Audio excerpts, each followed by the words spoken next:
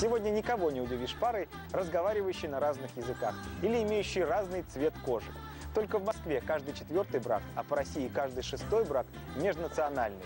Говорят, что именно в таких браках появляются на свет одаренные и красивые дети. По-особому. Только так ли это на самом деле? Давайте выясним у специалистов. В нашей стране любят всех ребятей. Рожайтесь себе на здоровье сколько хотите. Черненьких, беленьких, красненьких, хоть голубых, хоть розовеньких полосочек.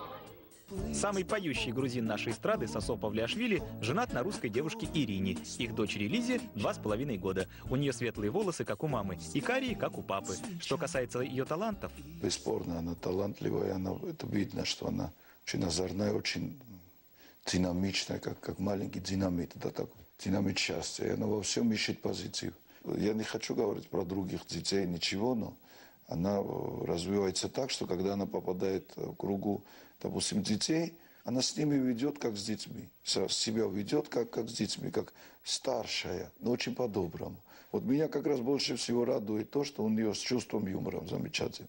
С ней можно шутить, как взрослым человеком уже.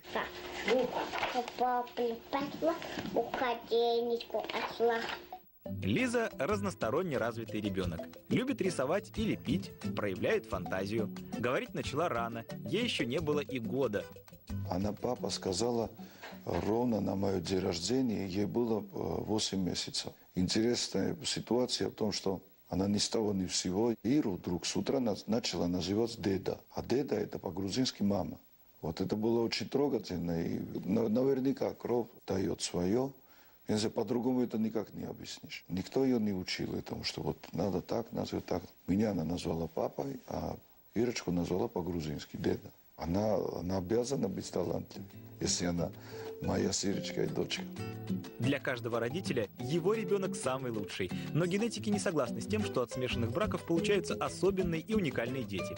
Единственный научно подтвержденный факт. Дети в таких семьях реже страдают наследственными болезнями, а значит более здоровые. На самом деле любой человек, и вы, и я в том числе, мы несем в себе мутантные гены. То есть гены с измененной структурой и, соответственно, с измененной функцией. И ничего страшного в этом абсолютно нет. За исключением той ситуации, когда, допустим, в браке встречаются носители одинаковых мутаций. Тогда и папа, и мама могут ребенку передать вот эту вот одинаковую мутацию, и у ребенка будет этих два мутантных гена. В этой ситуации разовьется наследственное заболевание. Соответственно, если мы вступаем в брак с представителем другой национальности, а особенно с представителем а, другой расы, вероятность того, что у папы и у мамы есть одинаковые мутации, естественно, снижается. И в этом плане у детей от смешанных браков все-таки редко бывают вот такие вот наследственные заболевания. Обновление крови, так называют это в народе. Кстати, Ирина, супруга певца, наполовину еврейка, наполовину русская. Сам Сосо – чистокровный грузин, но тоже результат соединения кровей разных кланов. В Грузии, кстати, несмотря на то, что маленькая Грузия, есть много уголков, где люди не во многом, но отличаются друг от друга. И когда вот перемещаются, и получаются тоже очень хорошие дети. Вот один из примеров – это я. Мой отец Восточной Грузии, а моя мама в Западной. Я помню, что мой отец говорит, я женился, говорит, на вашу маму. Моя мама еще выше был даже моего отца. Такая стройная, красивая женщина чтобы улучшить, говорит, свою генетику Павлиашвили. Это я помню с детских лет. Вот он так смеялся, шутил. Но у каждой шутки есть доля шутки, как вы понимаете. Результат личных наблюдений певца. Дети при смешении кровей действительно замечательные. Однако генетики не рекомендуют воспринимать это как руководство к действию по оздоровлению потомства. Не все так безоблачно. Люди разных э, национальностей, а особенно разных рас, они имеют несколько отличающийся состав белков крови. Тело женщины черный ребенок. Ну и что же?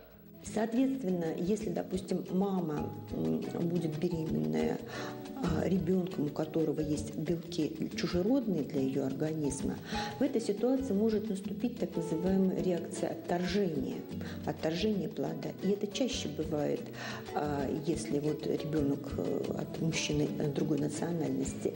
Поэтому в смешанных интернациональных браках намного выше процент не сохранившейся беременности. То есть процент выкидыша и преждевременных родов. Еще один миф или не миф – то, что дети при смешении кровей получаются особенно красивыми. Так это или нет, но Элизабет Павлиашвили не просто симпатичный ребенок. Это девочка, которая уже осознает свою обаятельность и силу женских чар. Мы ее постоянно везде берем с собой в гости. Она знает, как надо себя вести, как надо людей очаровывать как надо поднимать людям настроение. Красота или не красота – это понятие достаточно субъективное. И все-таки, мне кажется, в любой нации существуют свои как бы стандарты, свои каноны красоты. А когда происходит это смешение, то это, скорее всего, мне кажется, дети получаются, ну, я бы сказала, с пикантной внешностью, более с пикантной внешностью, чем, наверное, с истинной красотой. Я не просто доволен, какой получился ребенок, а я просто счастлив. Лиза – грузинка со светлыми волосами. И таких с необычным сочетанием внешности и фамилии в наши дни все больше. Дети, рожденные в смешанных семьях, действительно обладают оригинальной внешностью. Но еще говорят, что красивые и умные дети рождаются в семьях, где родители по-настоящему любят друг друга. А это, наверное, важнее. Лиза Павлиашвили как раз такой пример. Когда мы э, ездили на отдых, она видела вот летающие там парашюты, летающие лодки. Там... Она была в экстазе, она, она говорила, что Лиза вырастет и тоже будет летать. Я еще не знаю, кем она будет. Мое дело, чтобы она была счастлива.